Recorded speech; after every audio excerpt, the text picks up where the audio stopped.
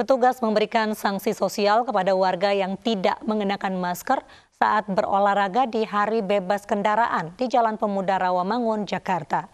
Mereka diminta mengenakan rompi bertuliskan pelanggar PSBB dan juga menyapu jalan.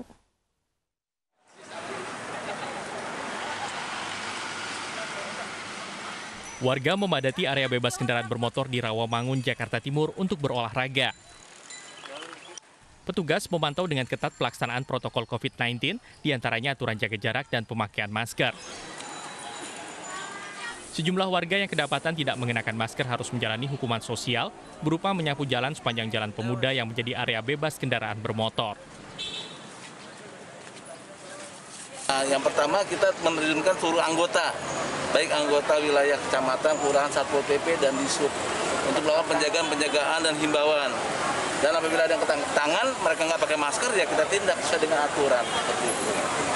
Dan kemudian sosialisasi juga kita berikan lewat wilayah lurah camat, ya, baik itu titik lokasi HBKB maupun aturan dalam pelaksanaan HBKB.